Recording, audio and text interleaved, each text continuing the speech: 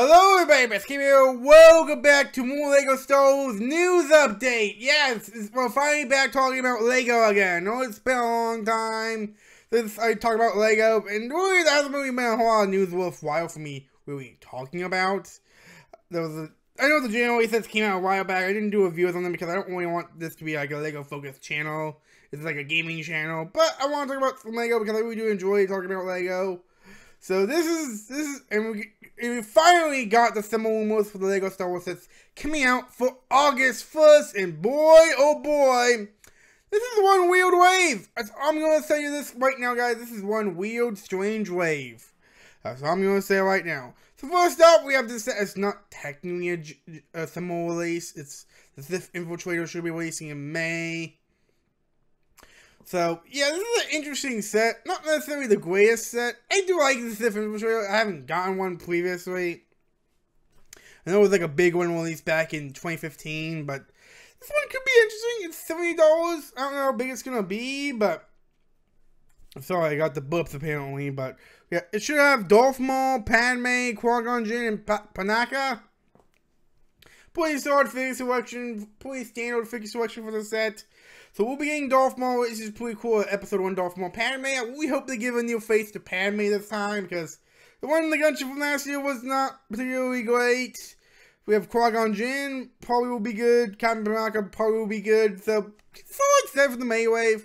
Not necessarily the bad, not necessarily a bad set, but then we have probably the least exciting set, the Summer Wave. Bootable C-3PO. I mean, it's good. I like bootable droids more than bootable, you know, like humanoid, like, characters.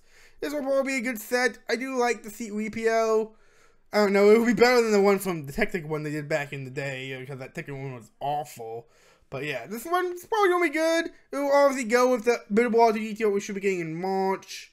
And it should have a cool C-3PO minifigure, maybe, potentially, an anniversary figure. I'm hoping this comes with an anniversary figure, because the R2-D2 comes with an anniversary figure. Darth Malak, I believe.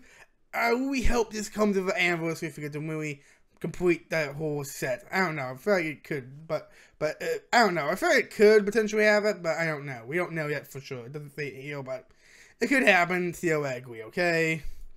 Then we have the TIE Fighter and X-Wing, or X-Wing and TIE Fighter. This is a weird set because they just retired the two previous X-Wing and TIE Fighter sets, which is interesting. I don't know why they decided to make new versions of those ships. And supposedly we're gonna have swappable wings, whatever that means. I don't know what it means, whether you'll be able to turn it. Like people are thinking you will be able to swap the wings from the TIE Fighter and put it on the X-Wing. Maybe you can turn the X TIE Fighter into like a Darth Vader's TIE Fighter. Maybe you can turn the X-Wing into like a different type of X-Wing, like Wed 5 or Wed 2 or Wed... I don't know. It could be interesting, It could be like that. Figures are definitely to be like what sells the set because you get X-Wing pilot, TIE pilot, Astromech droid, Probably no Luke, because I feel like if they was Luke was gonna be in the set, they would have said it. So, oh yep, this is new Pat pilots. Maybe we're gonna get Darth Vader. I don't know. This is that is the biggest question mark for me because I don't know how I feel about that. Because the previous models, two models of these ships were pretty good. And I'm worried.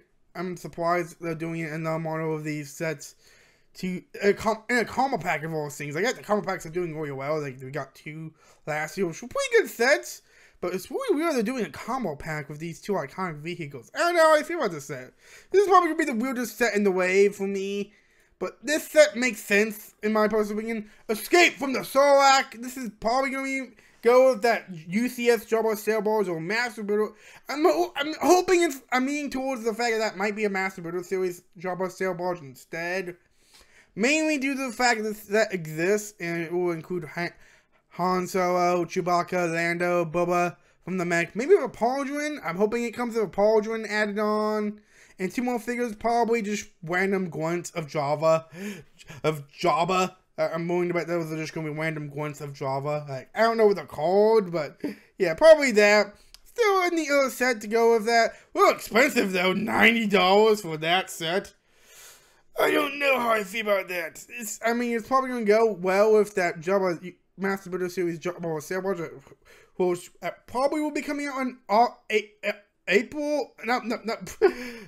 October is what I meant to say. I'm trying to find the word to that.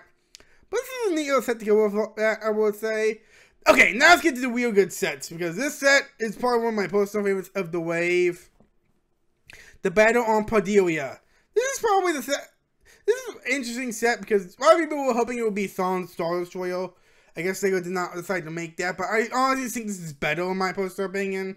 Like that would be like a uh, first off, if it was Thrawn Star Destroyer, that would take about that would have to be at minimum one hundred and seventy dollars, no less, no more. This is obviously a much cheaper set to get all these amazing characters. Oops, didn't mean to do that. This is obviously a cheaper set to get all those amazing characters. We have, of course, Ahsoka in a white outfit. Ezra, Thrawn, good to get him. Enoch, the Enoch Trooper. I don't know. I don't know how you say that. Aka, I don't know, but that's gonna be interesting for to get. Definitely a weird looking troop, but I hope that it does a good job making this troop look good. I don't know. I think the biggest question mark for me is uh, I don't know if they're going to do this troop, but yeah, we to have Morgan, which should have a new faceprint, probably from the eh, uh, like the final two episodes. I don't remember. I don't know. I haven't watched the Ahsoka show yet, but man, it seems like a cool set, and I can't wait to watch the Ahsoka show and be even more hyped for the set. Essentially, a lot of people are already hyped for them.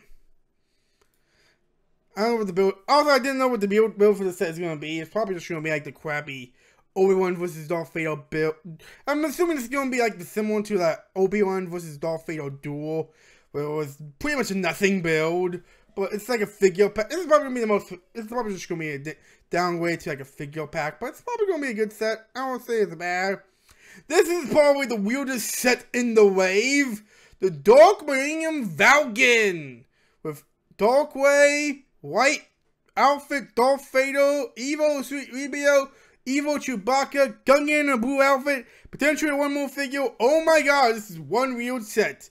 I mean, it's not necessarily a bad set just because it's weird. Like, I do think that could be potentially good. Like, Darth Side, me, and Falcon. Like, we get a lot of Millennium Falcons all the time, and this one's going to be one of the more different ones because the one from the sequel. The last one we got was the one from um, Rise Skywalker, which that one was a good set. But this one's gonna be a little very different, I imagine. We get Dark Way. Cool to get that unique character. I'm glad we're finally getting a Dark Way. I know a lot of people don't really like Way, but it's cool to get something different for change, I would say. White outfit Darth Vader, kind of like the redeemed version of Vader from a Star Wars What If, I guess is what you could say. Cool little idea to get that figure. I don't know. I don't know if they're gonna do the blue eyes or like pointing on the eyes because we I don't know if they can't put on Darth Vader's mask, especially near the eye line. The only thing way I can tell I can think they might do it is do more it, which I don't even know if they can even do for the eye specifically. I don't know. I don't feel like they was going to be able. I think they gonna have to redesign the mold to make Darth Vader's eyes blue. I don't know. I don't think that's gonna happen, unfortunately. Evo C-3PO could be potentially cool. Um, it's probably gonna be the one from Rise of Skywalker where C-3PO's eyes turn red. That's probably what it's gonna be. Uh, it's a cool little variation to get for C-3PO. I won't mind that. Evil Chewbacca though is probably gonna be the most strangest figure in the set. I don't know what they're gonna do with that figure, but it could be cool. Gungan in a blue outfit. No idea what that's that figure. I have no idea. I I don't know what that figure is. It's not Jar Jar because the word said Jar Jar. I don't know. Maybe it's Dolph Jar Jar for all we know, but there's one more figure as well. Definitely the stranger set in the wave. No idea how I feel about this. And I'm not getting this instead of a MT. I was hoping for an MTT, but I guess they decided to go even stranger and do this. Yeah.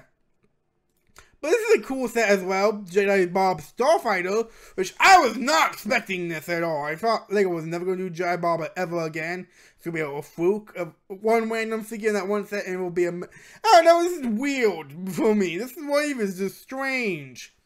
But yeah, this is a cool set. It will be $40, which makes it the most expensive Jedi Starfighter on the market right now. All you all Jedi Starfighters previously have been around the 30 to $35 range, but this is $40, oh boy! Jedi Bob will also have yellow skin to match his classic appearance, which I do like. There's also should be a second figure, maybe it might be Astromech Droid, maybe it might be something else, we don't know yet.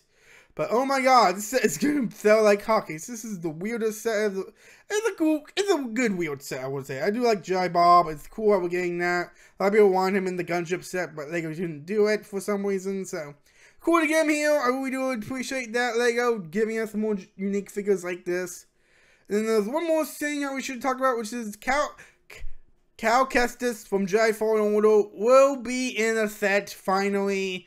Hopefully with BD-1. That not BB. Hopefully with that droid on his back. Hopefully he will come in that set because I did not get that set because I don't care for Woodward characters. So I didn't get that figure. And also Young Leo will also be in a set as well. So yeah, definitely a weird wave. Def we haven't got all the sets yet, but this is, sounds like a interesting wave to say the least. I hope it's Lego pulls it off. Hope a lot of these sets do work. And there should be eight sets in total, hopefully. I think they're all eight sets actually, not counting the May sets. But this is a good wave. I would say this is a solid wave. Not the greatest, not the worst. But I want to get you guys. I want to know what you guys think. Do you think this wave is good? Do you think it's bad? Let me know in the comment section below. And until next time, Game of the Max.